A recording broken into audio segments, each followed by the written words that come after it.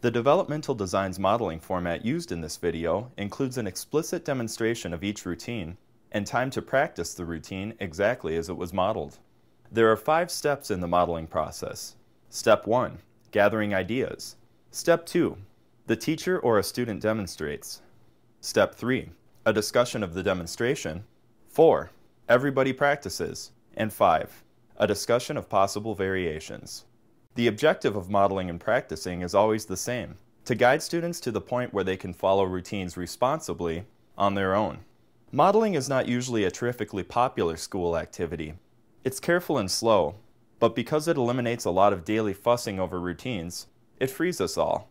Teachers avoid having to constantly correct student mistakes, and students get to be more active, work more with peers, and operate with the independence they crave.